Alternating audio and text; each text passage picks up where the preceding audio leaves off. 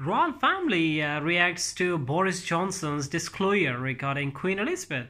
The royal family was livid after uh, Boris Johnson disclosed uh, in his uh, new biography that uh, Queen Elizabeth II died of uh, bone cancer, contradicting the official cause of death, which was old age.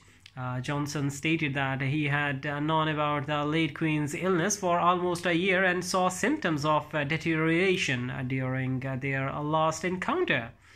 I had known for a year or uh, more that um, um, she had a form of bone cancer, and her uh, doctors were worried that at any time she she could enter a sharp decline.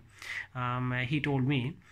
He also mentioned that uh, when they last met, uh, the queen seemed uh, pale and uh, more uh, stooped, and um, and she had dark um, bruising on on her hands and wrists, um, probably um, from drips or injections.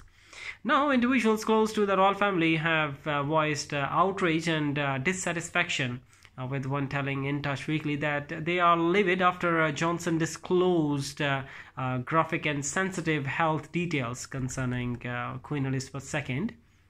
It's terribly upsetting for everyone in the family, um, the insider added, adding that um, there would be uh, no public reaction to the situation. Um, they may not um, um, rep- reprimand uh, him in public, uh, but behind closed doors, uh, they are fuming, she said.